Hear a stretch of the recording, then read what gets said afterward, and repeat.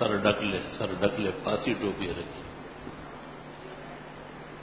أعوذ بالله من الشيطان الرجيم بسم الله الرحمن الرحيم يا أيها الذين آمنوا كتب عليكم الصيام كما كتب على الذين من قبلكم لعلكم تتقون۔ أياما معدودات۔ فمن كان منكم مريضا أو على سفر فعدة من أيام أخر.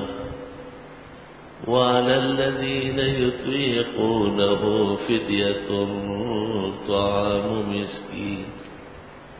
فمن تطوى خيرا فهو خير له. وأن تصوموا خير لكم إن كنتم تعلمون. شهر رمضان الذي أنزل فيه القرآن هدى للناس وبينات من الهدى وبينات من الهدى والفرقان.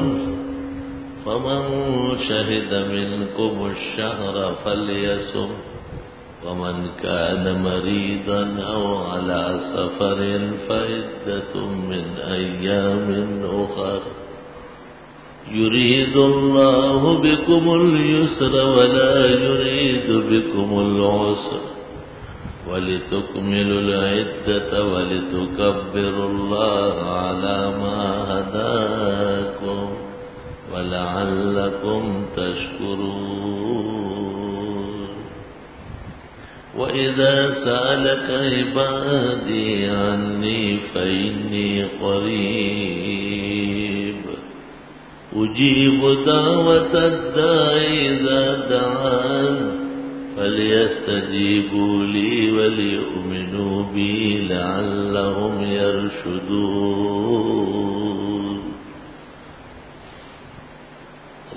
اللهم صل وسلم على عبدك ورسولك ونبيك محمد أحمد وعلى آله وأصحابه وبارك وصل وسلم عليه.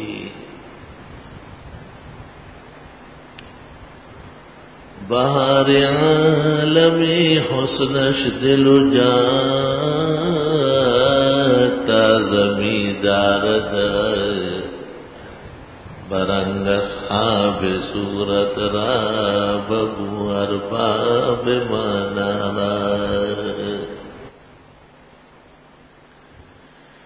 یہاں تک بڑھ گئے وارفتگی شوق نظارے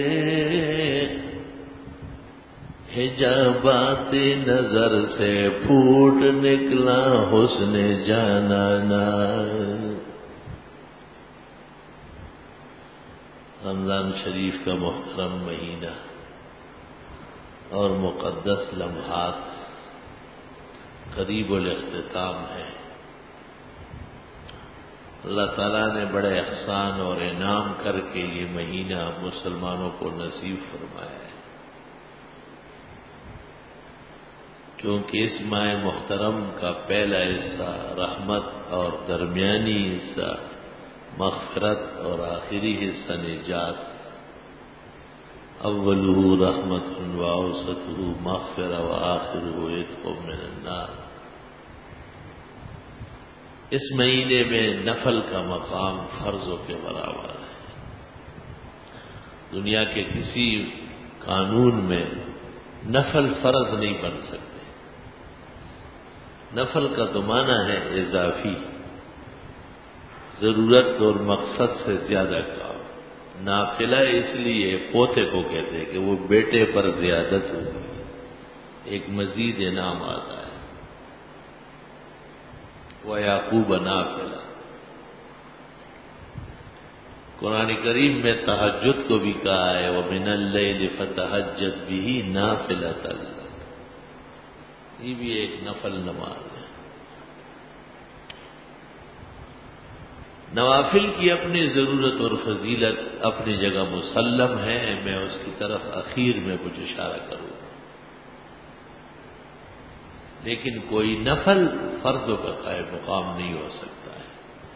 اور پھر فرض حساب میں نہیں، قبول ہوگا۔ قاعدے کے مطابق اگر پچاس سال کوئی نوافل پڑے اور دن رات میں چوبیس ہزار رکعت پڑے یہ ایک رکعت جو مغرب کی تیسری ہے، پہلے قاعدے کے بعد جو اٹھ کے کھڑے ہوتے، اس کے برابر نہیں۔ فرض آسمان سب ہے سماوات سے بڑھ کر یہ جو ساتوں آسمان ہے اگر یہ ایک طرف قیمت میں لگائے اور دوسری طرف فرض نماز کی ایک رکعت لگائے، وہ ایک رکعت زیادہ مہنگی یہ نہیں بن سکیں گے اس کے ساتھ۔ ایمان کے بعد ہی مہم مسئلہ وہ فرائض کا ہے۔ حضرت کی خدمت میں جب لوگ آتے اور ایمان لاتے تو بس آپ فرائض تعلیم فرما رہے تھے۔ کہ پانچوں نمازیں روز پڑھو۔ فجر زہر اثر مغرب شاہ جب تیرے مال پر سال گزرے تو اس میں سے زکات دو۔ اور جب تجھے رمضان شریف سال میں ملے تو اس کے پورے روزے رکھ اور جب بیت اللہ تک آنے جانے کا خرچہ ملے تو وہاں کا حج کر۔ تو اس شخص نے پوچھا حل علیہ غیر اور کچھ ہے آپ نے کہا اللہ اللہ انت توا فرائض اور نہیں ہے؟ آپ نفل پڑھ سکتے ہیں، نفلوں کا باپ بہت وسیع ہے اور بڑی گنجائش یہ بھی ایک مسئلہ ہے کہ گزشتہ امتوں میں نوافل تھے یا نہیں۔ بعض علماء کا خیال ہے کہ گزشتہ امتوں میں نوافل نہیں تھے۔ آہستہ آہستہ ان کے فرائض کمزور پڑ جاتے تھے۔ اور اس امت کو چونکہ نوافل دیے گئے ہیں اس لیے ان کے فرائض قوی ہیں۔ فجر سے پہلے دو رکعت یعنی فرض فجر سے پہلے دو رکعت سنت پڑی جاتی حکم نفل میں زور سے پہلے چار اور زور کے بعد دو اور دو کے ساتھ دو اور ان چار سے پہلے چار۔ اور اثر سے پہلے دو اور چار امام بحنیف سے دونوں روایت وقت ہو تو چار ہے، ورنہ دو ہے۔ اور مغرب کے بعد دو سنت اور پھر چھ اوابین، کم از کم ترمیزی عائشہ کی حدیث میں بیس رکعت اوابین آئی۔ حضرت اقدس شیخ الہند مولانا محمود الحسن رحمت اللہ علیہ، عام معمول کا بیس رکعت پورا اور عشاء سے پہلے دو یا چار، اور عشاء کے بعد دو سنت، پھر دو نفل، پھر دو نفل۔ اور پھر اگر وطر پڑھنا چاہے تو وطر، ورنہ وطر اخیر میں۔ تاکہ قیام اللیل اور تحجد کی گنجائش رہے۔ اللہ توا فرائض اپنی جگہ اٹل رہیں گے، اس کا کوئی ثانی نہیں۔ علماء لکھتے ہیں کہ فرض بہت بشاشت سے پڑھنا چاہیے۔ بہت توجہ کے ساتھ ہونا چاہیے۔ پہلے سے تیار ہونا اور پہلے سے فکر لگنا۔ یہ سب عبادات کے اطراف ہے شان ہے عبادت۔ بخاری شریف جلد اول صفحہ کانوے پر ابو حریر کی طویل حدیث ہے۔ کہ قیامت کے دن سات آدمیوں کو عرش کے سائے میں جگہ ملے گی۔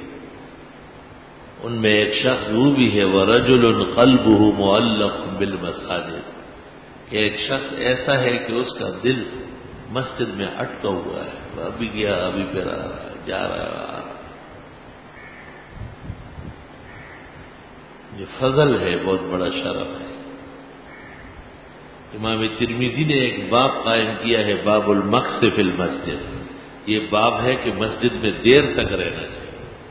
سویرے جائے اور دیر تک رہے۔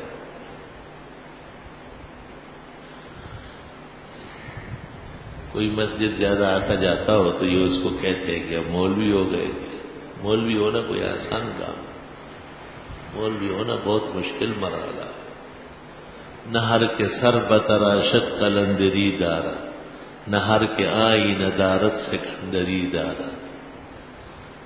کہتے ہر سر کٹانے والا کلندر صاحب نہیں ہوتے۔ اور جس کسی کے پاس بھی آئینہ ہو، وہ سکندر ذوالکرنین نہیں ہوتا۔ مشہور ہے کہ ذوالکرنین کے پاس ایک آئینہ تھا، اس میں پورا جہان نظر آتا تھا ایسے بہت لوگ پڑھ لیتے ہیں اور نکل جاتے ہیں، لیکن بس وہ نکل ہی جاتے ہیں، واپس آتے ہیں کیونکہ انسان کے اندر دو خصلتیں عجیب ہے۔ یا تو یہ ابو الوقت ہوگا یا ابن الوقت ہوگا۔ یا وقت کا باپ بنے گا یا بیٹا بنے گا۔ وقت کا جو بیٹا ہوگا وہ ہر شخص سے ڈرے گا۔ کسی نے اس کو داڑھی کی طرف ہنسا تو داڑھی چھوٹی کر لے۔ لمبا کرتا نظر آیا، وہ اتنا بڑا ہو گیا۔ تو بس اب گھبرا گیا رنگ زرد ہو گیا۔ یہ ابن الوقت ہے، بیکار، فضول آدمی۔ ایک ابو الوقت ہوتا ہے، وہ اوقات کی اصلاح کرتا ہے، لوگوں کو چلاتا ہے، اپنا رنگ روپ ظاہر کرتا ہے، دوسروں کو اس کے مطابق چلاتا ہے۔ یہ بچے جو کھیلتے ہیں نا، تو ان میں ایک کمزور صلاحیت کا بھی ہوتا ہے، تو وہ کہتے ہیں، میں کس کے پیچھے چلوں؟ یہ ابن الوقت ہے۔ اور دوسرا کہتا ہے کہ کون کون میرے ساتھ ہے؟ میرے ساتھ کون چلیں گے؟ یہ ابو الوقت ہے۔ انقلابی شخصیت سنا ہے کہ مولانا مفتی محمود صاحب جب پڑھتے تھے مڈل اسکول کے اسمیل خان۔ تو چونکہ ان کا جو ہیڈ ماسٹر تھا، وہ بڑا مشہور آدمی تھا اور کوئی انگریز افسر آیا جو تعلیمات کا بڑا ہیڈ تھا۔ اسکول کا معائنہ کرنے کے لیے مفتی صاحب بھی بینچ پر بیٹھے تھے۔ ایسے ہی نمایاں سا بچہ نظر آیا تو اس سے پوچھا کہ آپ پڑھ کر کیا کریں گے؟ کہا، آپ کو یہاں سے نکالوں گا۔ کہا، کہاں سے؟ کہا، ہندوستان سے۔ کیوں؟ کہا، آپ تو غاصب ہے ہمارے ملک پر قبضے کیے آپ برطانیہ جائیے۔ تو اس نے ماسٹر صاحب کی طرف منہ کیا اور کہا، یہ پڑھا رہے آپ کہ مجھے معلوم نہیں کہ اس کا یہ ذہن ہے، ابھی ٹھیک کر دیتا۔ وہ ڈائریکٹر صاحب کو لے جا کے دفتر میں بٹھایا، خاطر ایک ماسٹر کے پاؤں تلے زمین نکلی۔ واپس آ کے مفتی محمود صاحب چھوٹے بچے تھے، ان کو سمجھایا کہ اس طرح نہیں کہتے ہیں یہ ہمارے ملک کے بادشاہ ہے یہ جو چاہے ہمیں سزا دے سکتے۔ اور بہت خیال رکھنا اور ان کے وفادار ہونے میں بہت عزت ہے ہماری۔ اس طرح باتیں کبھی نہیں کرو، یہ کسی جوشیلے مولوی کا کوئی اثر ہوا ہے۔ انہیں پورے اطمینان ہو گیا۔ وہ بچہ جو تھا بالکل سن رہا تھا۔ اس کے بعد ڈائریکٹر صاحب کو دوبارہ لے آیا اور ان سے کہا کہ اب سوال کریں۔ انہوں نے سوال کیا کہ پڑھ کر کیا کرو گے؟ کہا، آپ کو اور ہیڈ ماسٹر صاحب جیسے لوگوں کو نکالوں گا یہاں سے۔ تو انگریز بڑے ایار مکار تھے اور لوگ کی صلاحیتوں کو بھی تاڑ لیتے تھے، انہوں نے فوراً کہا کہ یہ بچہ بڑا ہو کر انقلابی شخصیت بنے گا، اس کا اسکالرشپ ڈبل ہونا چاہیے۔ دنیا کے اندر اسلام آگے بڑھنے کے لیے آیا تھا۔ اسلام میں پیچھے رہنے کی کوئی وجہ نہیں۔ دنیا کے اندر آدمی جو پیچھے رہتا ہے، اس میں دو مرض ہوتے ہیں۔ یا تو وہ مال کی غلط طلب کرتا ہے، ہمارے ہاں مال تو آپ اپنے باپ سے بھی ناجائز نہیں لے سکتے۔ فقہ نے لکھا ہے، یہ بعض باپ ہوتے ہیں نا، دکاندار کے سب کے تو بس، بیٹا جو سب بیٹے، میرا ہی ہے مولانا اشرف علی صاحب نے ایک مستقل مقالہ لکھا ہے کہ بغیر ضرورت کے جو ماں باپ اولاد کا مال استعمال کریں گے، مقروض ہوں گے اسے۔ اس کا جواب دیں گے۔ اور ایک جوان لڑکا ہے، سب کچھ کر سکتا ہے اور کھا پی رہا ہے، اس کو کوئی فکر نہیں ہے۔ یہ بھی جوانی کی نہ شکری نعمت شباب کے خلاف ورزی۔ تو ایک تو آدمی کے اندر مال کی محبت غلط طریقے سے آ جائے۔ ویسے دنیا میں آدمی رہے تو مال تو چاہیے۔ کوئی سام تو نہیں کہ مٹی کھائے گا، عزت سے رہنے کے لیے مکان، بال بچوں کی تعلیم و تربیت کے اخراجات۔ معاشرے میں مسلمان بھائیوں کی مدد، تعاون اور ضروریات پورا کرنے کے لیے بقدر ضرورت، مال یہ ضروری ہے، اس کے خلاف شریعت میں نہیں ہے۔ آپ نے حدیث میں کہا، کسب الحلال فریضت بعد الفرائض. دینی فرائض کے بعد ایک فریض یہ بھی ہے کہ آدمی حلال کمائے۔ حلال کمائے گا تو دین پر خرچ کرے گا، کمائی ہوگی تو زکات دی جائے گی اور فطرانے ادا ہوں گے۔ حلال مال کی فراوانی ہوگی تو مساجد اور مدارس اور دینی ادارے، مراکز و معادن خیر و برکت قائم ہوں گے۔ زیب النساء نے اورنگزیب کی بیٹی نے اس کو سلیمان علیہ السلام کا مال کہا ہے، جو دین پر خرچ ہوتا ہے۔ اور اس نے شعر میں کہا ہے، گر قبول افتت زماں در زندگی یک جو نیاد چو سلے ماں سر نہ پیچ دیو از فرمانے ماں عجیب عورت ہے۔ وہ کہتے ہیں سلیمان علیہ السلام کو جو اتنا ٹاٹ پاٹ ملا ہے، اللہ کے نام پر کوئی خرچ کرنا قبول ہو چکا ہے۔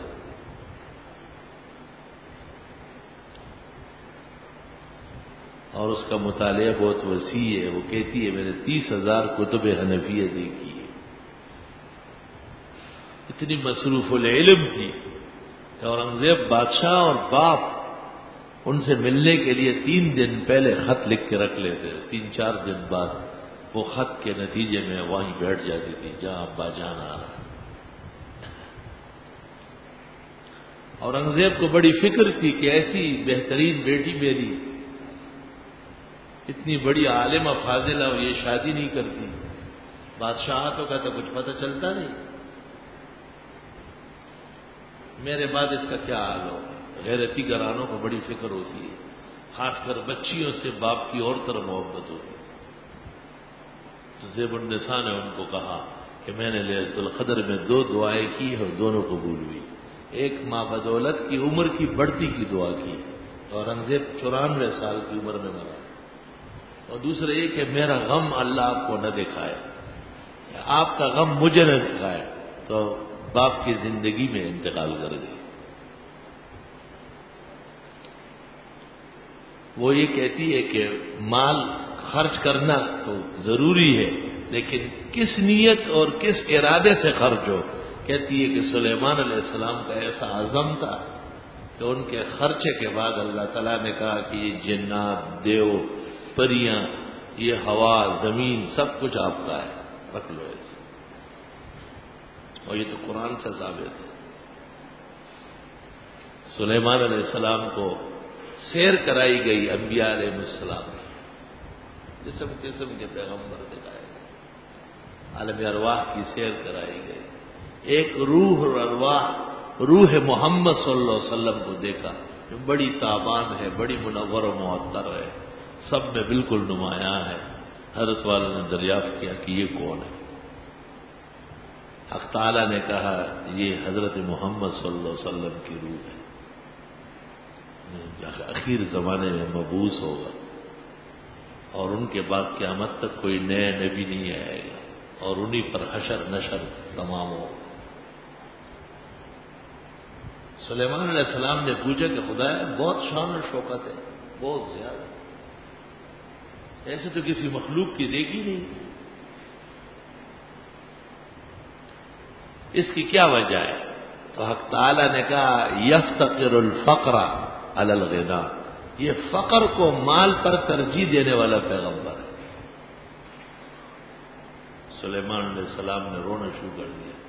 تو مجھے کیوں خزانے بہر بھر کے دے دیے؟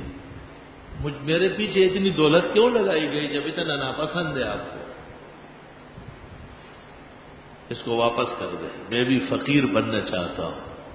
حق تعالی نے کہا ہاضا آتا ہونا ہم ایک دفعہ جب دیتے ہیں پھر لیتے نہیں۔ فمن او امسک بغیر حساب۔ ہاں مال کی پوچھ گچھ ہٹا لیتے ہیں۔ آپ سارا رکھے یا سارا لوٹائے کوئی پوچھ گچھ نہیں ہو تو علماء نے عجیب بات لکھی۔ کہ حضرت صلی اللہ علیہ وسلم کے دیکھنے کے بعد حضرت سلیمان کا بڑ، کتنا بڑا کام ہو گیا۔ ورنہ تو روایات میں کہ گھوڑے کے ایک ایک بال کا بھی حساب لیا جائے۔ یہ جو چونٹی ہے زمین پر ہے ان کے بارے میں گرفت ہوتی تھی۔ یہ جب مرتی ہے پاؤں کے نیچے، تو ساتویں آسمان تک فریاد جاتی۔ سلیمان علیہ السلام کو فوج نے شکایت کی کہ ان سے بچنا بہت مشکل ہے۔ حضرت سلیمان حق تعالیٰ کے سامنے سر بسجود ہو گئے۔ اور تب سر اٹھایا جب ان کو کہا گیا کہ حساب معاف۔ آپ خود نہ جلائیں، نہ تکلیفیں دیں۔ اگر بغیر اختیار کے کیڑے مکوڑے چینٹی یا پاؤ تلے مر گئی ہے ان کا کوئی حساب نہیں۔ چونکہ ان کا حساب معاف ہو چکا تھا، تو اس قسم کی دعاؤں میں ان کی شان محفوظ رہی۔ یہ بھی ایک بڑی عجیب بات ہے۔ جس ہستی پر اللہ تعالی کے جس طرح کی رحمت ہو، اس قبیل کی دعائیں ان کی بہت زیادہ قبول ہوتی۔ اللہ اکبر۔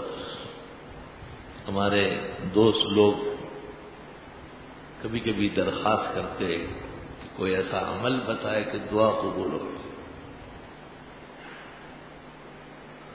پہلی بات تو یہ ہے کہ دعا مانگنا یہ عبادت ہے زبردست۔ مسلمان کلمے اور عمل کے ساتھ جو دعا مانگتا ہے یہ بہت بڑا کارنامہ ہے۔ ادعا و مخل عبادت دعا عبادت ہی ہے۔ دعا عبادت ہی ہے۔ عبادات بہت ہیں، لیکن ان میں ایک دعا بھی ہے۔ دوسری بات یہ کہ دعا کا تعلق تین جگہ ہوتا ہے۔ جب آدمی دعا مانگتا ہے تو تین تعلقات پیدا ہوتے ہیں۔ دعا تین جگہ جا کر کے ٹکرتی ہے۔ سب سے بڑی بات یہ ہے کہ دعا اتنی وزنی ہے، اتنی عظیم ہے کہ آخرت کا ذخیرہ بن جائے۔ آخرت میں ہم بالکل نہتے ہوں گے۔ کچھ بھی نہ پاس ہوگا، جب یہاں سے جائیں گے چنگس کا ون کا ٹکڑا تیرا لباس ہو۔ ورحم مبیتی فل قبور و وحشتی ایک بزرگ کہتے ہیں، میں میں تن و تنہا ہوں گا اور کوئی میرے پاس نہیں ہو۔ ورحم ایزامی ہی نہ تب کا نہ خرا اور میری ہڈیاں کھوکھلی ہو چکی ہوگی اور سوراخ سوراخ ہوگی۔ اس حالت میں میرے اوپر رحم فرما۔ میری مدد کروبر رہی لو دیار آخرا سفر آخرت تو قریب ہوتے ہی جا رہا ہے۔ فج الہی خیر عمری آخرا خدایا آخری عمر بہترین بنا۔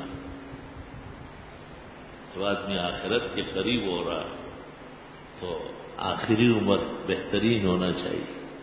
اس میں کمی کوتاہی نہ ہو، اس میں رغبت نیکیوں کی ہو، اس میں نفرت گناہ و سیاحت سے۔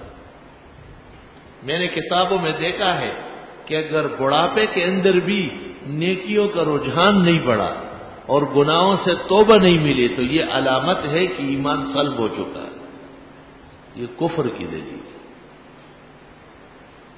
ہر ایک آدمی کے پیچھے اس کے گھر مفتی صاحب تو نہیں جائیں گے کہ آپ کافر ہو چکے ہیں۔ مفتی کو کیا ضرورت ہے؟ وہ تو سوال کا پابند ہوتا ہے۔ حساب کتاب تو میزان شرف ہے۔ شریعت اٹل موجود ہے، الحمدللہ۔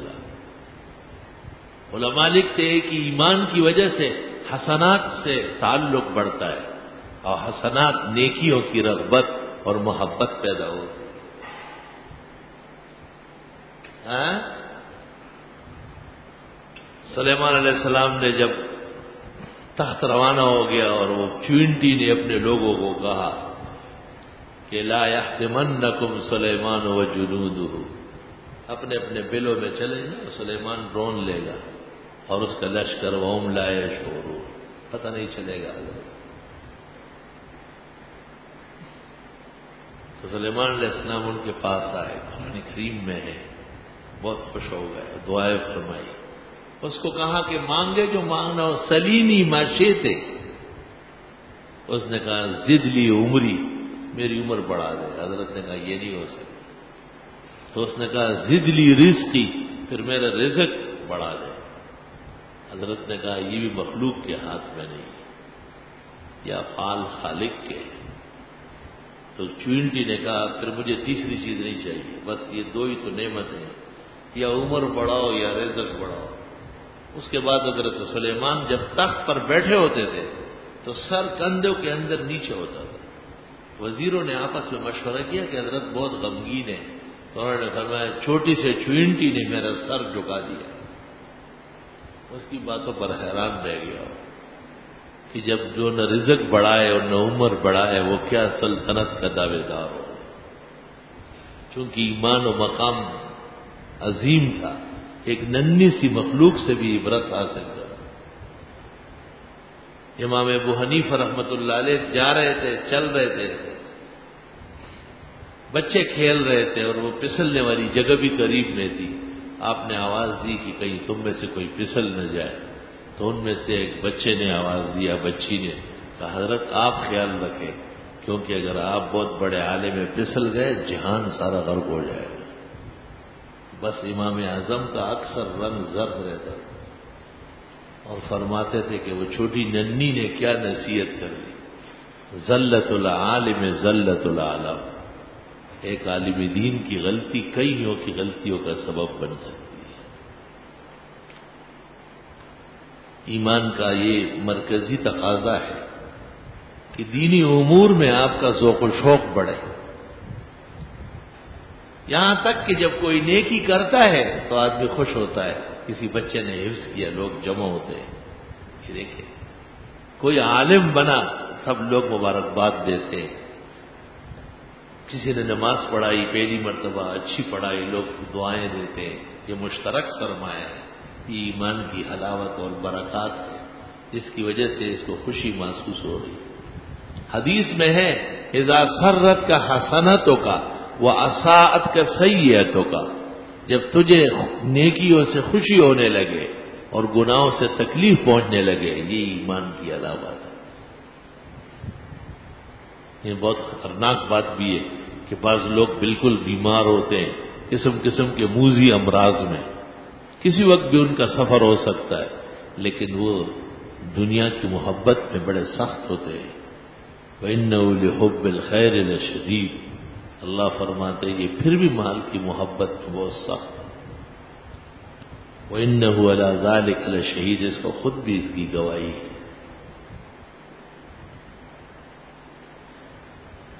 آخرت کی محبت لوگوں سے کچھ مانگتی نہیں، لوگوں کو انسان بناتی ہے کہ وہ جانور درندہ نہ بنے، بہترین انسان بنے۔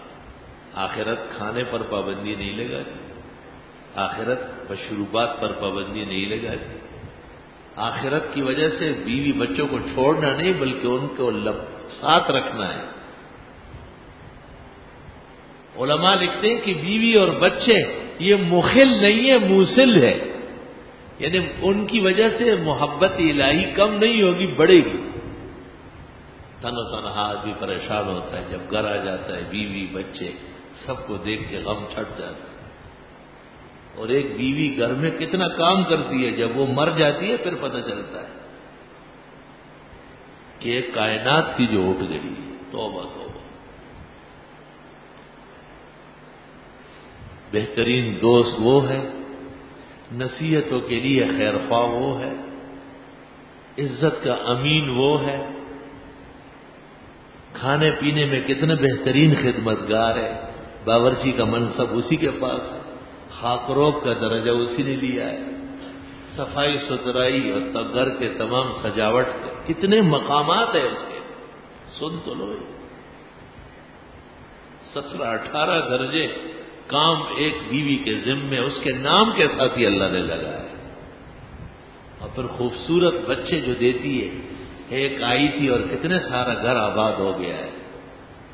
مرغی کے چوزے نکلتے ہیں تو خوشی ہوتی، بکری بھی آ جاتی ہے تو لوگ کہتے ہیں، واہ، ہمارے یہاں بکری کے بچے اور انسان پیدا ہوا، ایک، دو، کتنے سارے۔ عورت کے احسانات کوئی مان سکتا ہے۔ اللہ ہو۔ اللہ تعالیٰ کے کروڑوں درود و سلام ہو۔ حضرت محمد صلی اللہ علیہ وسلم پر اخیر وقت بھی فرمایا استوسو بن نسائے خیر میں تمہیں تاکید کرتا ہوں کہ عورتوں کے ساتھ بہترین سلوک کرو۔ اچھا سلوک۔ آپ نے ان کی کمزوریاں بھی بیان کی ان نہ خلق نہ منزل ایسر یہ تو بائیں پسری سے پیدا ہے۔ ان کی باتوں میں کچھ کمزوریاں بھی ہوگی، وہ سب معاف کر کے رہو یا الزین امن اے ایمان والو، ان من ازواجکم و اولادکم ادو لکم فاحذروا تمہاری بعض بیویاں اور بعض اولاد میرے دشمن ہیں، ان سے بچ کے رہو۔ یہ ایک قانون تھا جس سے آگاہی ضروری تھی۔ یہ ایک حقیقت تھی جس کی روشنی ہر کے پاس ہونا چاہیے۔ اب جب آدمی یہ سنتا ہے کہ بھئی میری بیوی اور میرا بچہ میرے لیے دشمن بھی ہو سکتے تو آدمی میں ایک قسم کا نفور پیدا ہوتا ہے۔ فوراً تین اپیلے کی وہ انتاف ہو وہ تصف ہو وہ تخ ہو اگر تم معاف کرو، درگزر کرو مالا مال کرو فیند اللہ غبور رہی تیرے کتنے گنا خدا نے معاف کیے۔ ذرا گرہبان میں جھام کو کس شان سے سمجھایا کمزوریاں بھی ان کی بیان کی اور جب آدمی ایکشن لینے پر آتا ہے، فوراً لگام دے دیا اس کو کہ نہیں، اس کی ضرورت نہیں ہے۔ دشمنی ابھی کی نہیں ہے۔ خطرات بتائے کہ بہت زیادہ کہیں مر مٹ نہ جائے۔ ایسا نہ ہو کہ بیوی یا بچوں کا پوجا شروع کر لے۔ انسان بہت کمزور ہے۔ جب کسی کا بہت زیادہ احسان مان لیتا ہے تو اس کے سامنے سر جھکا لیتا ہے۔ اور سر جھکانا سر دینے والے اور جس کے نام پر سر جائے گا، اس کے علاوہ کسی اور کے سامنے جائز نہیں۔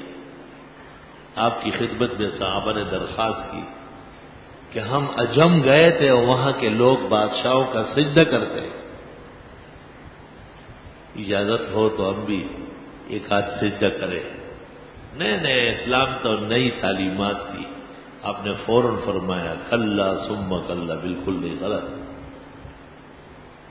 لو جازا یس جدا احد الحد اگر یہ جائز ہوتا کہ کوئی کسی کا سجدہ کرے لمرت النساء ان یس جدن علی ہند میں خواتین کو کہہ دیتا کہ وہ اپنے اپنے خاوندوں کا سجدہ کرے۔ کیونکہ خاون نام خداون تعالی کا ہے۔ فارسی میں خاون خاون تعالی رب العزت کو کہتے ہیں۔ دنیا کے اندر اس شخص کو بھی اس عورت پر ایک قسم کا تملک حاصل ہے، اقتدار حاصل ہے۔ اس اقتدار کے صحیح استعمال کے لیے فرمایا کہ ان کے ساتھ بہترین سلوک کرنے کی میں تمہیں تاکید کرتا ہوں۔ اصل میں لوگوں کو ماحول یاد نہیں آتا، یہ ایک ایسے ماحول کے اختتام پر پیغمبر نے کہا ہے، جس میں لڑکیاں اور بہنیں عیب سمجھی جاتی تھی، زندہ درگور کی جاتی کہ کل یہ بڑی ہو جائے گی تو پھر ہمارا کوئی داماد بنے گا اور بہنوئی بنے گا۔ اور داماد اور بہنوئی کے تصور سے مشرقین خفا ہوتے تھے۔ اللہ اکبر۔ قرآن پاک اس کا قصہ کرتا ہے۔ کہ حضرت صلی اللہ علیہ وسلم کی تشریف آوری سے پہلے یہ لوگ کیسے ویزا بشرا احدهم بالانثى جب ان میں سے کسی کو کہا جاتا کہ تیرے گھر لڑکی ہوئی ذل وجهه مسودا وهو كذيب چہرہ اس کا سیاہ ہو جاتا اور غموں کے اندر گھٹنے لگتا۔ ایم سکو اللہ یا من القوم برادری سے بچنے لگتا کہ مجھے یہ کہے نہیں کہ تیرے گھر بچی ہوئی۔ یا من القوم برادری اور قوم سے بچنے لگتا۔ من سوء ما بشر به وہ جو ناپسندیدہ خوشخبری اس کو ملی. ایم سے اللہ آیا اس لڑکی کو زندہ چھوڑ دے، ذلت برداشت کر کے. ام یدسو فی التراب. لا الہ الا اللہ. بہرحال، اللہ کے نبی ایک ایسے وقت میں تشریف لائے. آپ نے ایک حدیث میں کہا ہے کہ مجھے عورتوں کی محبت عطا کی گئی۔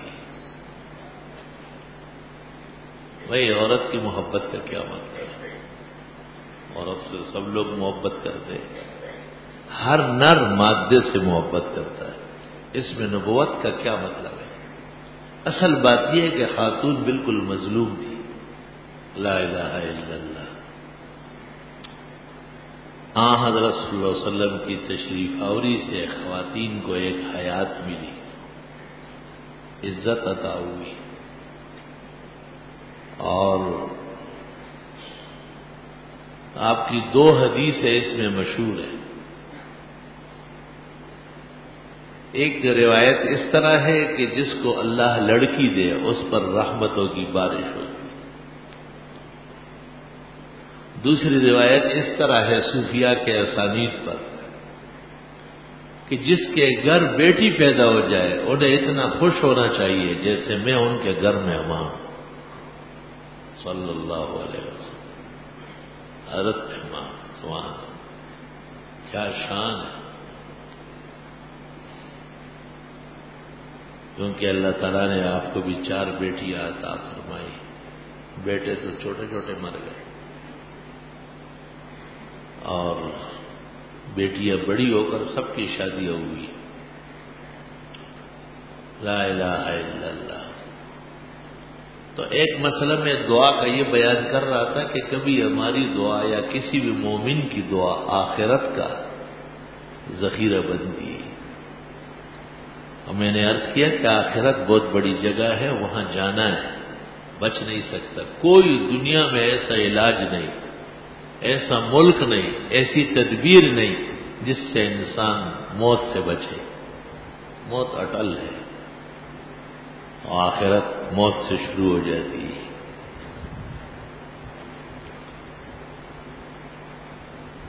تو اگر کوئی دعا آخرت کا ذخیرہ بن گئی تو کتنی اچھی بات ہے۔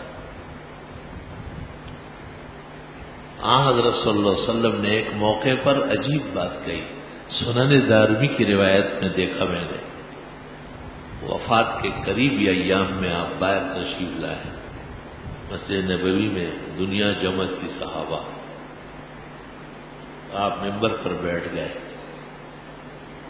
آپ نے کہا ان نما ان بشر۔ میں بھی ایک بشر ہوں۔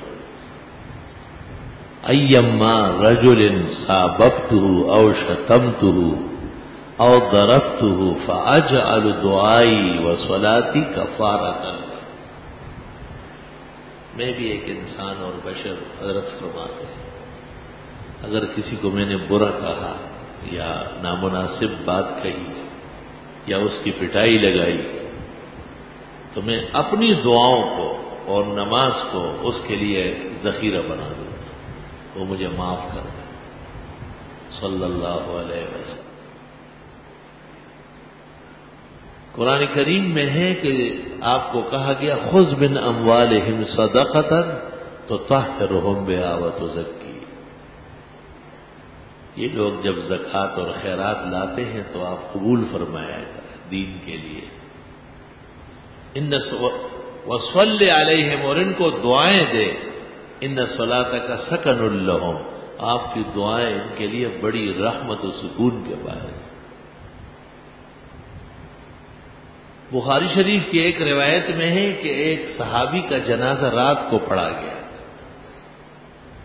سخت سردی تھی، جاڑے کا موسم تھا، ٹھنڈی ہوائیں چل رہی تھی۔ اور فخر المرسلین صلی اللہ علیہ وسلم کو بے آرام کرنا، یہ تو صحابہ کا مزاج نہیں تھا۔ نہلایا، کفنایا، جنازہ پڑھ کے دفنایا۔ صبح آپ کو پتہ چلا، آپ غمگین ہو گئے اور آپ نے صحابہ پر ناراضگی ظاہر کی کہ مجھے بتا دیں اور پھر آپ قبر پر تشریف لے گئے۔ اور دیر تک اس مردے کے لیے دعا مانگی۔ بخاری شریف میں ہے کہ آپ نے کہا، میری دعاؤں سے ان کی قبروں کے اندھیرے روشن ہو جاتے۔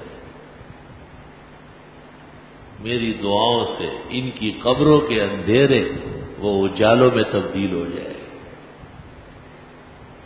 علماء نے لکھا ہے کہ ہر ایک کی دعا سے فائدہ ہے۔ دنیا کے اندر، مراتب کے اعتبار سے۔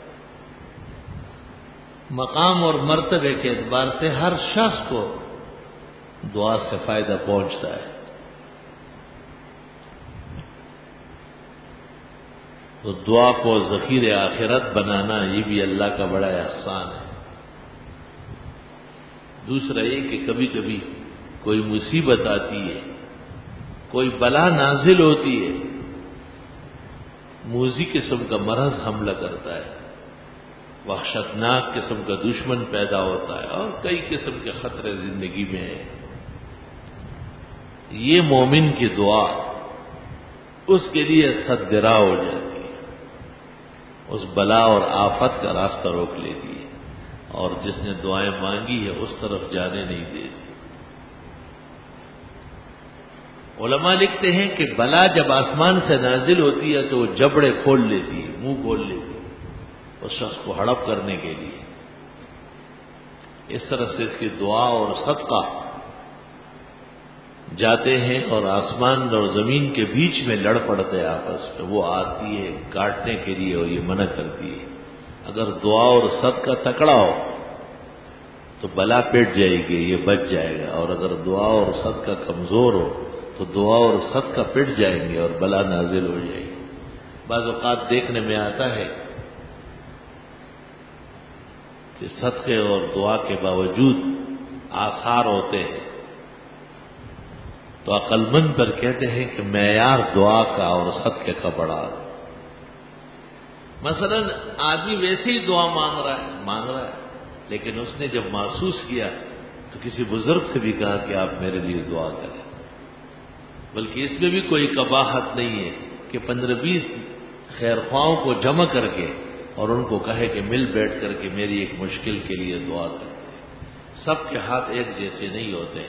بعضوں کے ہاتھ پر مالک العرش کو بڑا رحم آتا ہے۔ بڑے خاص ہاتھ ہوتے ہیں۔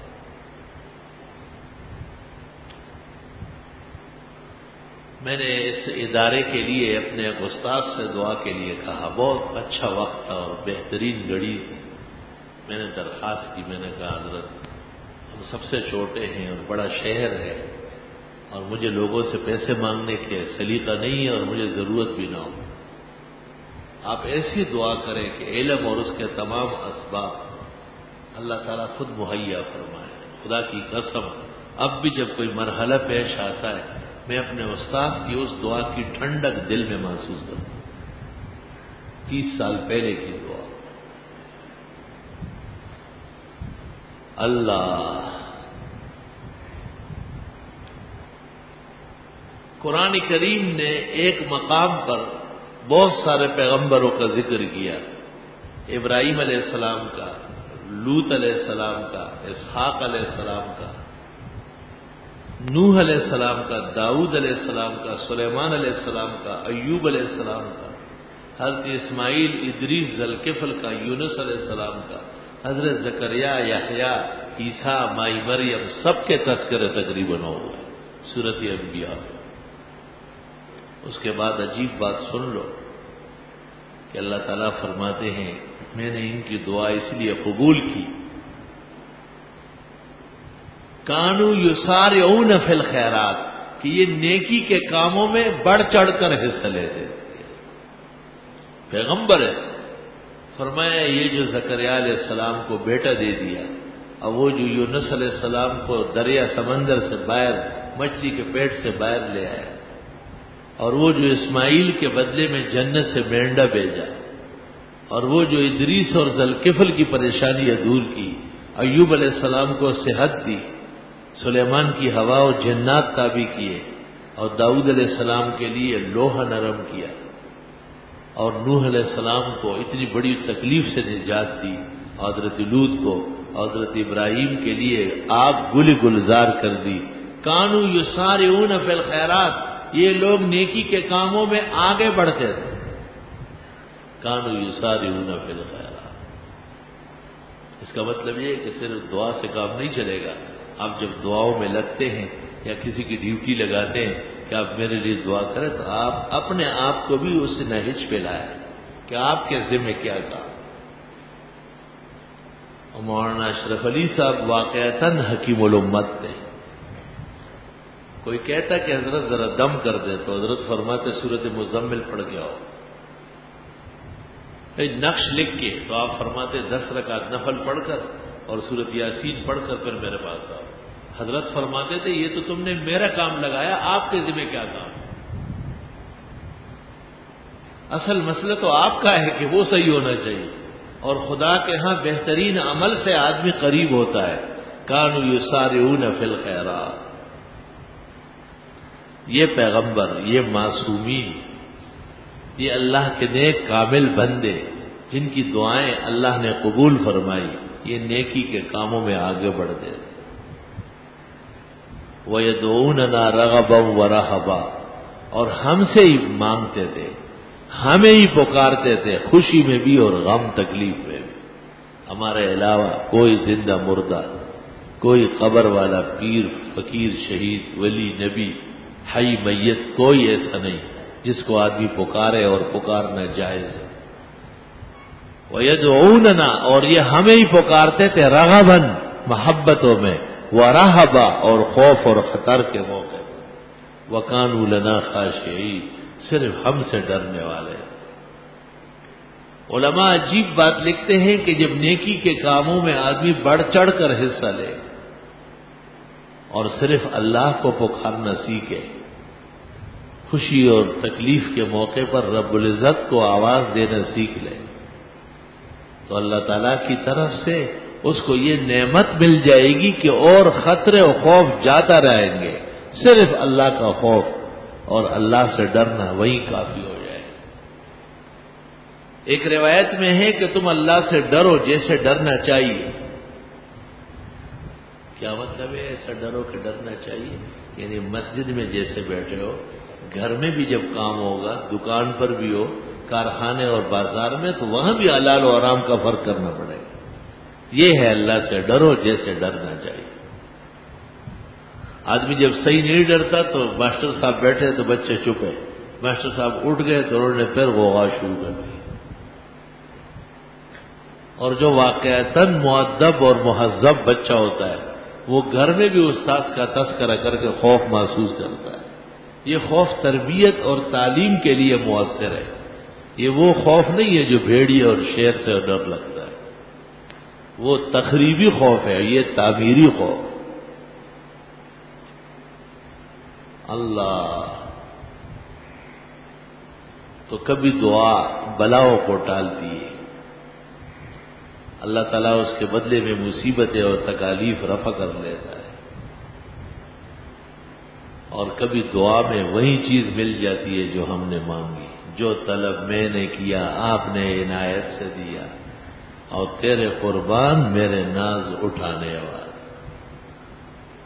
یہ دعا کا تیسرا درجہ ہے۔ چھوٹا بچہ جب شور کرتا ہے تو اس کو اس وقت دیا جاتا ہے۔ وہ کیا مانگتا ہے؟ چاکلیٹ مانگے گا، بسکٹ مانگے گا، کوئی کھانے پینے کی چیز مانگے گا اور بڑا بیٹا جو کچھ مانگتا ہے، اس کے لیے باپ پوری تدبیر کرتا ہے، ارادہ کرتا ہے، تیاری کرتا ہے کہ وہ اب نہیں ہوگا۔ جب آپ جوان ہو جائیں گے، وقت آئے گا، اس وقت دینے کی کوشش کروں فلفور قبولیت کو بعض حکمتوں کے تخت کبھی کبھی مؤخر سمجھا جاتا ہے۔ بدر کے موقع پر جو رسول اکرم صلی اللہ علیہ وسلم کفار کا زور اور تعداد کی کثرت دیکھ کر کے پریشان ہو گئے، اس کی وجہ یہ تھی کہ صحابہ نہتے تھوڑے جگہ بھی نامناسب ہے۔ اگر آپ کی مدد آنے میں آپ کی حکمت کی وجہ سے تاخیر ہوئی، نقصان بہت ہو جائے۔ بزرگانی دین کبھی کبھی اللہ کے سامنے آنسو گراتے ہیں اور اللہ تعالیٰ سے معافیاں مانگتے ہیں اور وہ کہتے ہیں کہ خدایا میں بہت پریشان ہوں۔ اس وقت لوگ بہت پریشان ہیں، آپ ہماری مدد فرمائیں۔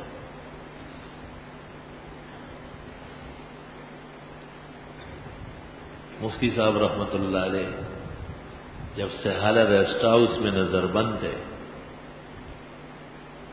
تو اس زمانے کا وزیر اعظم ان سے ملنے آیا حضرت نماز پڑھ رہے تھے، نماز کے بعد پھر فارغ ہو کے بڑی دیر تک دعا مانگ رہے یہ مسلمانوں کا چودہ سو سال عمل ہے کہ اعمال سے فارغ ہو کے دعا کر تو وزیر اعظم چونکہ دل لگی بھی ان سے کرتا تھا تو اس نے کہا کہ آپ کس کو بد دعائیں کر رہے ہیں، کس کو غرق کرانا چاہتے ہیں؟ کتنی لمبی دعائیں مانگ رہے ہیں۔ مفتی صاحب نے اس وقت جو جواب دیا ہے وہ سننے کا جواب ہے۔ آپ نے فرمایا بد دعا کے لیے یہ ضروری ہے کہ جس شخص کو بد دعا دی جاتی ہے، اس کی کچھ نیکیاں بھی ہو اور اچھائیاں بھی ہو تو اس کے ظلم سے تنگ آ کے پھر اللہ سے کہا جاتا ہے کہ خدایا، اب اس کی نیکی کو نہ دے کے پکڑے۔ لیکن آپ بغیر دعا مانگے غرق ہوں گے، کیونکہ آپ کا کوئی نیک عمل موجود نہیں ہے۔ اللہ تعالیٰ جواب دیا، جو حقیقت پر مشتبہ ہے۔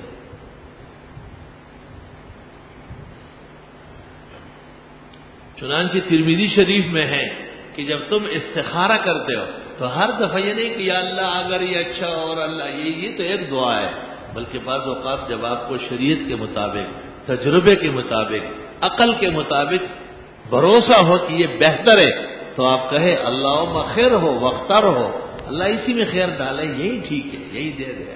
یہ بھی استخارہ ہے۔ کہتے یہ کاملین کا استخارہ ہے۔ کمزور آدمی تو یہی کہے گا اللہ، اگر ان کا نفی خیر اللی فی دنیائی وہ عاقبت امری وہ آجری وہ آجری خدا اگر یہ اب یا آئندہ کوئی خیر اس میں ہو تو مجھے موڑ دے، یہ میری طرف کر دے، آسان فرمائے۔ یہ ایک استخارہ یہ اٹل نہیں ہے۔ اٹل یہ دوسرا ہے، جس میں کہا جائے گا اللہ مخر ہولی وختر خدا میرے لیے اسی کو ٹھیک کر دے، یہی پسند فرما لے۔ خدا اسی میں خیر ڈال استخارہ بھی حقیقت میں دعا ہے۔ اللہ تعالیٰ سے خیر مانگی جاتی ہے۔ خدا میں اس معاملے کو نہیں جانتا اور اس کی عاقبت سے بے خبر ہوں۔ آپ میری مدد فرمائیں۔ رمضان شریف کا مقدس مہینہ بہترین لمحات اور گڑیاں اختتام پر ہیں۔ ایک پنجاہ رفت در خوابے، مگر یہ پنج روز دریا وہ جو کتنا زمانہ آپ نے غفلت میں گزارا، کتنا بڑا مہینہ گزر گیا، یہ جو چند لمحے باقی ہے مشکل سے شاید ایک دن اور مل جائے۔ ورنہ برادر ملکوں میں، اسلامی مراکز میں عید منائی گئی۔ بظاہر یہی ہے کہ یہاں بھی شاید مختصر ہو۔ علماء نے عجیب بات لکھی ہے کہ جب انتیس روزہ ہو تو آدمی یہ نہ کہے کہ کل عید ہے آپ کو تیسرے روزے سے شرم آنا چاہیے۔ یہاں تک علماء میں یہ مطلب مسئلہ بھی زیر بحث ہے کہ یہ جو پاکستان کے لوگ عمروں کے لیے جاتے ہیں اور لازمن ان کا ایک روزہ گھٹے گا۔ یہ ہمارے چاند بعد میں ہوتا ہے، ان کا پہلے ہو جاتا ہے۔ لوگ عمرے کے لیے رمضان شریف میں پہنچتے ہیں، مخلصین لوگ بھی ہیں۔ خالص عبادت و زہد کے لیے، اللہ کو راضی کرنے کے لیے جاتے ہیں۔ لیکن سوال یہ ہے کہ عمرہ نفل ہے، سنت غیر موقع ہے، اور روزہ فرض قطعی ہے۔ کسی ایسے ملک میں جانا جہاں آپ کے روزے کم ہو یہ مسئلہ زیر بحث ہے علماء میں، کہ یہ سفر جائز ہے یا نہ جائز روزے کی اتنی بڑی اہمیت ہے۔ تو علماء لکھتے ہیں کہ انتیس کو تو آپ خوشی ظاہر کریں کہ انشاءاللہ شاء اللہ نصیب ہو جائے۔ اور جب مغرب کے بعد چاند ہو جائے انتیس پر تو آپ کہیں کہ بس یہی مہینہ انتیس کا تھا۔ بخاری شریف میں کہ پھر یہ نہ کہے کہ یہ ایک دن کم ہو گئے۔ اشہر ہا کزا و ہا کزا و ہا کزا وہ شہر ہا کزا و ہا کزا و ہا کزا آپ نے ایسے ہاتھ اٹھائے کہ مہینہ اتنے دن کا، اتنے دن کا۔ تیس کا، پھر فرمائے مہینہ، اتنے دن کا، اتنے دن کا، اتنے دن کا تو ایک انگلی بٹھا لی۔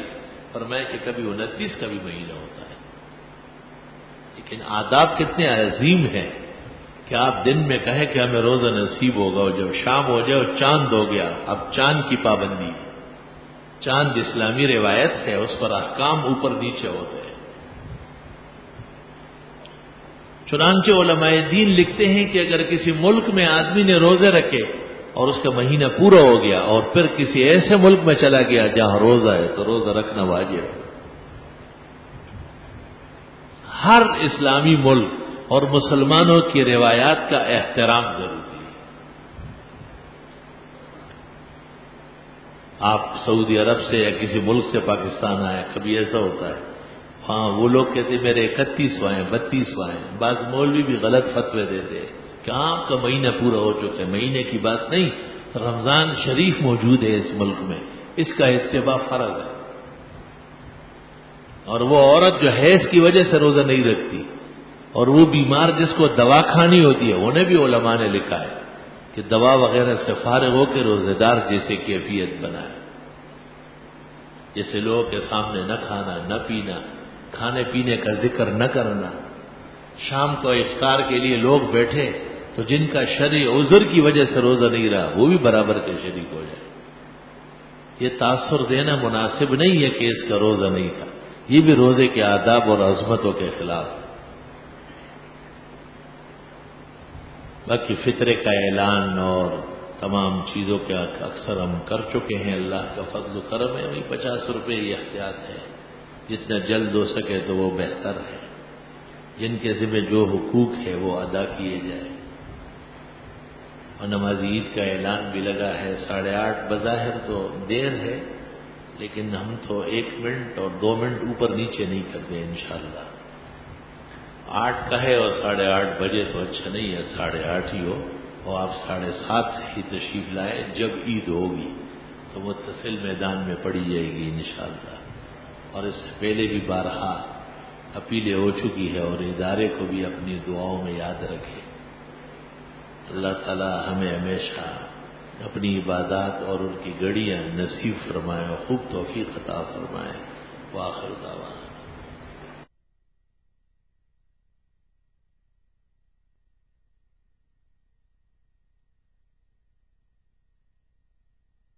متصل میدان میں ساڑھے آٹھ بجے جماعت کھڑی ہوگی۔ دو چار منٹ پہلے بلکہ۔ اور بیان ساڑھے سات بجے بشرط الحیات و صحا و توفیق الرفیق بہت زیادہ جلدی مناسب نہیں ہے۔ عید ہی ہے، نماز ہے اور کوئی کام نہیں ہے۔ افضل اور بہتر سویرے اٹھنا ہے عید کے دن۔ اور نماز با جماعت پڑھنی ہے۔ اور بس اس کے بعد عید کی تیاریوں میں لگے۔ سات سوا سات بجے تک عیدگاہ پہنچے میری بھی کوشش ہوگی کہ مختصر خطاب ہو۔ اور انشاءاللہ وقت پر جماعت ہو۔ اعلان کا مطلب یہ نہیں کہ کل ہی دے بلکہ یہ کل ہو یا پرسوں ہو، پروگرام یہی ہوگا کیونکہ بیچ میں پھر تو جمعہ آئے گا جی۔ نہیں چند دن پہلے ارشاد فرمائے تھے کہ حرم کے مسلح پر ہمیشہ بیس رکعت پڑی جبکہ مشاہدے میں آئے کہ اسی مسلح پر رفع دین سے نماز پڑھی جاتی ہے، برائے مہربان رفع دین بھی ائمہ کا عمل ہے، کیا فرق پڑا؟ ہم نے تو کہا ہے کہ امام بونیف و مالک قائل نہیں ہے، امام شافی اور احمد قائل ہے اور چونکہ وہ امام احمد ابن حنبل کے پیروکار ہیں، اس لیے رفع دین کرتے رفع دین کرتے لیکن یہاں کے رفع دین والوں کی طرح جہالت نہیں کرتے۔ بیس، تیس سال سے ہم آج جا رہے ہیں، وہاں کے علماء اور احمد سے بات چیت ہوتی ہے۔ کبھی بھی انہوں نے یہ نہیں کہا کہ رفع دین ضروری ہے۔ میں نے کچھ بدتی عقائد کے لوگوں سے سنا کہ ہمارے مفتی اشرف علی خانوی کے مطالبات میں نبی کریم کا خیال آ جائے، اس کے جوابات دیے گئے۔ یہ مولانا اشرف علی صاحب نے نہیں، مولانا شاہ اسماعیل اور سید احمد شہید کی کتاب میں ہے۔ اور وہ درست بات ہے، اس کو وہ سمجھ نہیں رہے۔ آج کل مسئلے میں ایک رسم چلی ہے کہ ختم قرآن پر مول صاحب اٹھ کر یہ اعلان کرتے کہ میں نے چار قرآن ختم کیے اور جس آدمی سے ان کو فائدے کی امید ہوتی ہے، وہ ایک ایک قرآن ان کو نام لے کر دے تھے کہ میں نے یہ قرآن تمہیں بخش دیا ہے۔ سب کچھ بک رہا ہے تو اب قرآن بھی بیچنے لگے۔ نا شرم و حیا ہے ہی نہیں لوگوں یہ سب ڈکوسلے کی بات ہے۔ اللہ مشرقی کے بارے میں آپ کی کیا رائے؟ منکر حدیث پکا زندگی کو ملحد تھا موتقف سے ملنے سے باہر سے افراد آ سکتے جیا ہاں۔ جبکہ وہ کوئی دنیاوی بات نہ کرنی دنیاوی بات کرے ادب و احترام سے۔ موتقف کے منہ کو کوئی کری نہیں لگی ہوتی ہے کہ وہ بات نہیں بات کرے۔ الیک سلیک خیر خیریت، دعا، عافیت۔ لیکن اتنی طویل باتیں نہیں کہ بس موتقف سے ریڈیو پاکستان بن جائے۔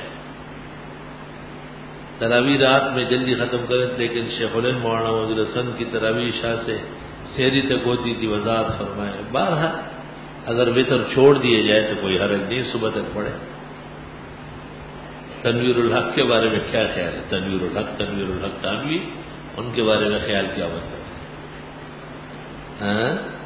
مفتی صاحب، بہت سے لوگ ستائیس رمضان کو تراوی کے بعد سولہ تصویر جماعت کے ساتھ پڑھتے سولہ تصویر نفل ہے اور نفلوں کی جماعت حرام نہ جائے۔ ایک بچی نام مریم ریاض بچپن میں بیمار ہو گئے سے بولنے اور سننے کی سماعت ہو چکی ہے۔ اللہ پاک انہیں صحت عطا فرمایا مولانا سرفراز صاحب کی رائے سنت ایک آدھی پڑھ سکتے جی ہاں بالکل۔ حضرت وافی وافی لکھا ہے، وانی اور یہ لڑکی کا نام رکھ سکتے پتہ نہیں کہ آپ نے دانی لکھا ہے یا وافی خط اللہ نے آپ کو اتنا اچھا دیا ہے کہ آپ اپنے خط کو لاہور کے عجائب گھر میں اویزاں کر لیں لوگ شیر و چیتے کے ساتھ آپ کا خط بھی پڑھیں۔ تراوی اور وطر کے بعد تحجد یا نفل نماز کے بارے میں کیا ہوگا؟ تراوی کے بعد جب وطر پڑھ لیا جائے تو پھر قیام اللیل، نوافل تحجد سب کے سب خلاف سنت اور نہ پڑھنا بہتر ہے۔ کیونکہ وطر رات کی آخری نماز ہے۔ اگر کوئی نماز پڑھی گی اور اس نماز کے وقت گزر جانے کے بعد معلوم ہوا کہ جس لباس میں نماز پڑھی ہے وہ ناپاک لباس سے نماز دوبارہ دہرائی جائے لوگ کہتے ہیں کہ اتر لگا کر باہر نہیں جانا چاہیے، جن چڑھ جاتے چھوٹے بچوں کے لیے ٹھیک نہیں۔ ہے چھوٹے بچوں کو خوشبو اتر نہ لگایا جائے۔ تعبیر اور تدبیر میں کیا فرق ہے؟ تعبیر تو خواب کے معنی اور مطلب ہے۔ اور تدبیر اس حکمت عملی کو کہتے ہیں، جس کی وجہ سے تعبیر نقصان نہ کرے۔ مثلا ایک آدمی نے خواب دیکھا اور اس کی تعبیر یہ ہے کہ اس کے ہاں کوئی حادثہ ہونے والا ہے۔ تو یہ تعبیر ہے نا، لیکن آپ نے اس کو یہ نہیں کہا، آپ نے کہا فوراً گائے کٹوائے۔ اپنے توفیق کے مطابق بکرے مسلسل کٹوائے۔ یہ تدبیر ہے۔ میرے والد صاحب گورنمنٹ کے ریٹائرڈ ملازم ہیں۔ اب کوئی ملازمت نہیں کر رہے، انہوں نے ریٹائرمنٹ کے تمام پیسے نیشنل سیون سینٹر میں جمع کروائے۔ اور ہر مہینے وہاں سے کچھ رقم لیتے ہیں جس سے ہمارے گھر کے اخراجات چلتے ہیں۔ جیسے کہ یہ سود دینا حرام ہے تو اس کا متبادل کیا ہونا چاہیے؟ سود حرام ہے اور متبادل کے ذمہ دار ہم نہیں ہیں۔ آج کے وقت کے لحاظ سے ایک شخص کے پاس فرض کیجیے چھ تولہ سونا صرف اور صرف سونا ہے۔ اس کے علاوہ اور نق رقم نہیں، اس پر زکات فرض ہے۔ سونے کا نصاب ساڑھے سات تولے ہے۔ اس سے کم پر زکات نہیں ہے۔ جن بزرگوں نے ایک تولے پر بھی زکات کہی ہے کہ چاندی سمجھ لیں، ہمیں ان کے تفقوں پر تعجب ہے۔ شبینہ تراوی کی کیا حقیقت ہے؟ شبینہ اگر تراوی میں ہو تو محلے کے بیمار بوڑھے شریک نہیں ہوں گے۔ انہیں جماعت سے نکالنا نہ جائے گا اور اگر نفلوں میں ہو تو جماعت آرام ہے۔ الگ تحقیق شبینے کی کوئی حقیقت نہیں۔ حدیث میں ہے کہ آ حضرت صلی اللہ علیہ وسلم آٹھ رکعت تراویح پڑھتے تھے، اس قسم کی کوئی روایت موجود نہیں۔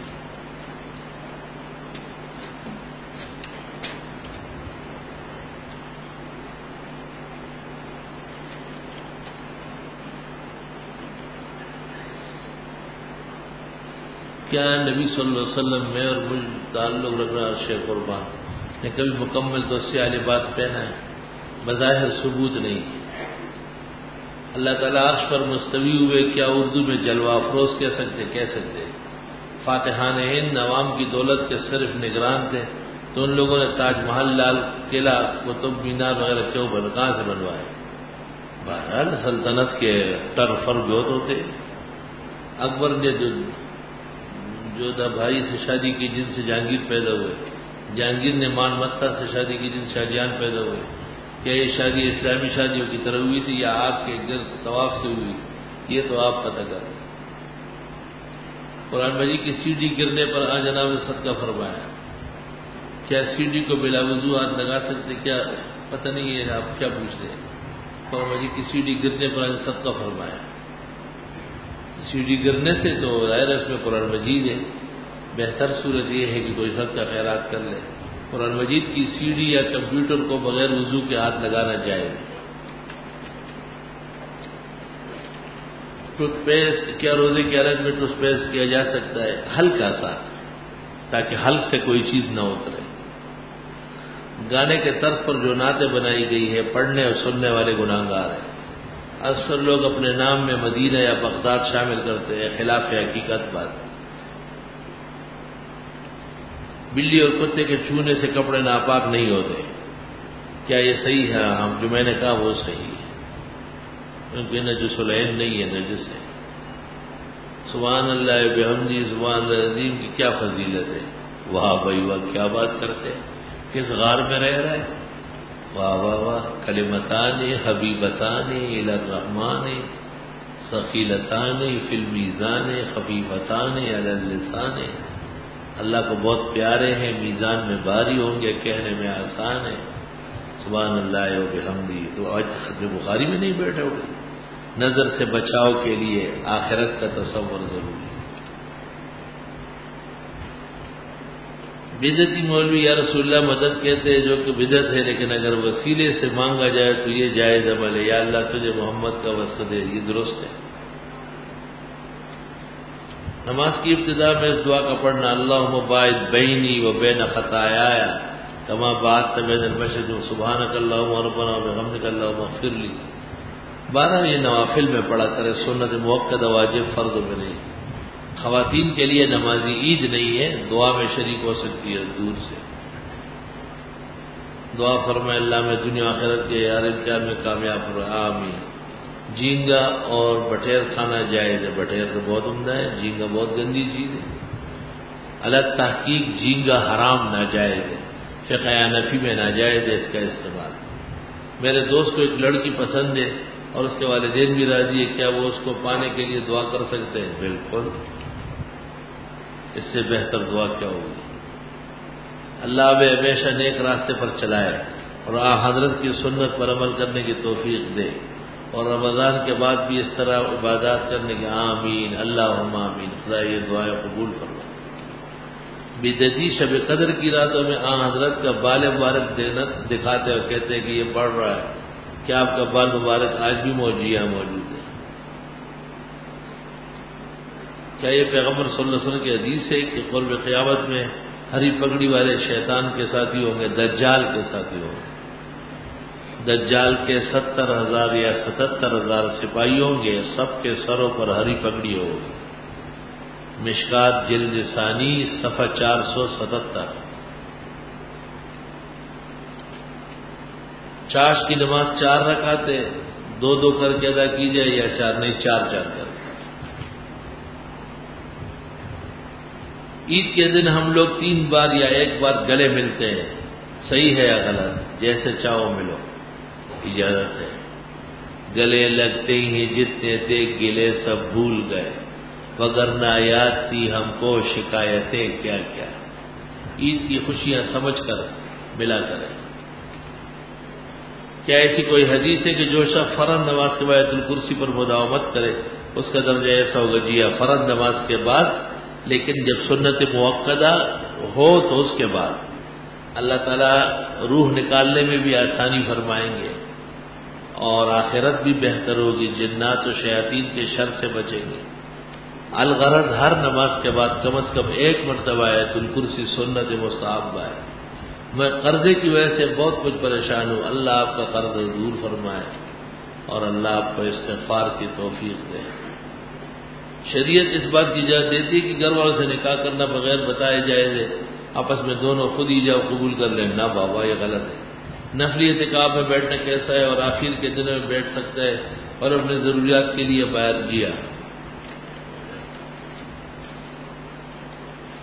بات تسلیم بست تعظیم و تقریب میری زبان میں لکنت ہے تو آپ سے گزارش ہے کوئی قرآن آیات۔ رب شرح لی صدری و یسر لی املی وحل لقدتم باللسانی یفقہ قول صبح و شام کثرت سے پڑھے پچھلے جب آپ نے سعید الاستغفار کی کثرت سے ذکر کرنے کی طرح، لیکن کون سے استغفار کو سعید الاستغفار کہتے اللہ مان تربی لا الہ الا خلق، انت خلق تنیوانا عبد والا آد کا واد کا مستفات اعوذ بک من شر ما صنعت ابو لك بنعمتك علی و ابو لك بذنبی فاغفر لی فانه لا يغفر الذنوب الا انت۔ یہ سعید الاستغفار۔ شوال کے چھ روزے مکرو ہے۔ درست بات یہ ہے۔ امام مالک اور امام ابو حنیفہ دونوں نے انکار کیا ان کے وجود کا۔ تفسیر قرطبی میں ہے کہ جب دو بڑے امام متفق ہو چھوٹوں کی بات نہیں مانی جائے گی۔ مجھے یہ کہنا کہ آپ کی مسجد میں دیکھا ہے کہ اعتکاف کے دوران دعوت اور شغل اور بچوں کا آنا، کھیلنا اور دنیا داری کے تمام معاملات ہو رہے ہیں۔ اس کی وجہ سے اعتکاف کا مقصد بہت ہو جاتا ہے۔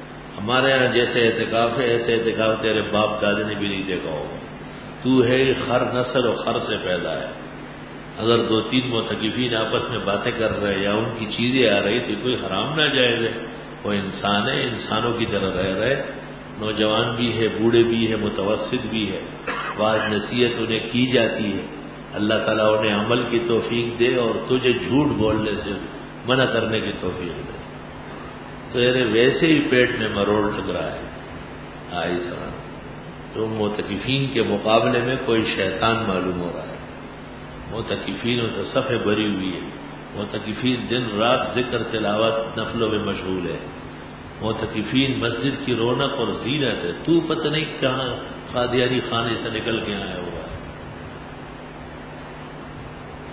اٹھا سو ڈاکٹر کامران اور ان کی اہلیہ بے روزگار ہے واہ واہ واہ واہ، کیا بات ہے۔ زی آواز نے مما ذرا سارا شکر ہے کہ ڈاکٹر صاحبان بھی بے روزگار ہیں۔